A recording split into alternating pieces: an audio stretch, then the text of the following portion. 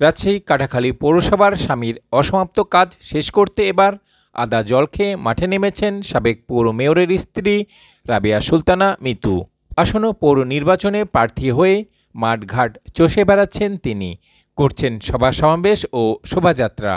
ইতিমধ্যে তার প্রচার প্রচারণা পৌরবাসীর মধ্যে বেশ সাড়া ফেলেছে।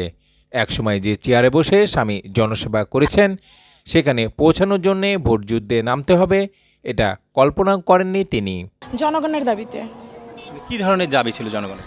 আসলে আব্বাস ভাই যখন প্রথমে প্রার্থী হতে পারছিল না তারা এসে জোর করে ধরেছিল যে আপনি না হতে পারলে আপনাদের বাড়ি থেকে কাউকে ক্যান্ডিডেট করেন। সেই কারণেই। কেমন সাড়া পাচ্ছেন? মাসাল্লাহ ভালো সারা পাচ্ছি। আচ্ছা স্বামীর জায়গায় নির্বাচন করবেন এরকম কখনো কি স্বপ্নে ভেবেছিলেন? না আসলে আমরা এরকম কোনো কিছু ভাবিনি। এখন কেমন লাগছে যে যেহেতু স্বামী দীর্ঘদিন মেয়র ছিল এখন সেই জায়গাতে লড়ছেন? আসলে এটা একটা খারাপ লাগার বিষয় আমার কাছে। আমি কখনো ভাবিনি যে তার জায়গায় আমাকে আসতে হতে পারে। আচ্ছা এটা রাজনীতির সাথে কখনো কি কোনোভাবে সম্পৃক্ত ছিলেন কিনা দুই তিন বছর আগে কৃষক লীগের সাথে আমি ছিলাম কিন্তু তার আগে কখনো রাজনীতির সাথে ছিলাম না। তবে স্বামীর সাথে স্বামীর মানে বিয়ের পর থেকে স্বামীর সাথে স্বামীর রাজনীতিই করি। অন্য কোনোভাবে ছাত্র রাজনীতির সাথে কোনো? আচ্ছা নির্বাচিত হলে আসলে কোন কাজগুলো আপনি করতে চান?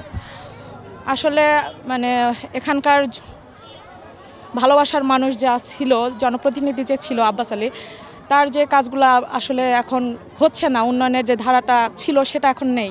আমি আশা করি যে সেটা থেকে সে শুরু হবে। যেটা ছিল উন্নয়নের ধারা যেটা ছিল সেটা অব্যাহত রবে।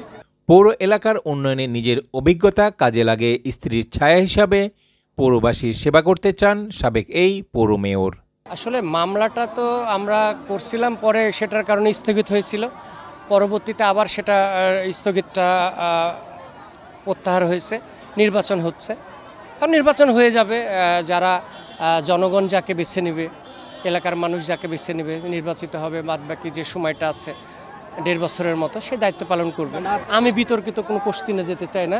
আমাকে স্টেট নির্বাচন বিষয় নিয়ে কিছু বলেন, এগুলা বললে আবার আবার যারা এখন দায়িত্বে আছে, তারা আবার এটা নিয়ে কথা বলবে, সমালোচনা শুরু হবে, এগুলা দরকার নাই তো। ভাবিকে কীভাবে সহযোগিতা করবেন? ভাবিকে সহযোগিতা বলতে যদি ওনাকে আল্লাহ নির্বাচিত করেন, জনগণ যদি নির্বাচিত করে, তাহলে আমাদের যে পরিকল্পনা অনুযায়ী আমরা আগাচ্ছিলাম, যেভাবে কাটাখালীকে এগিয়ে নিয়ে যাচ্ছিলাম, সেই জায়গা থেকে চেষ্টা করা হবে যতটুকু সম্ভব।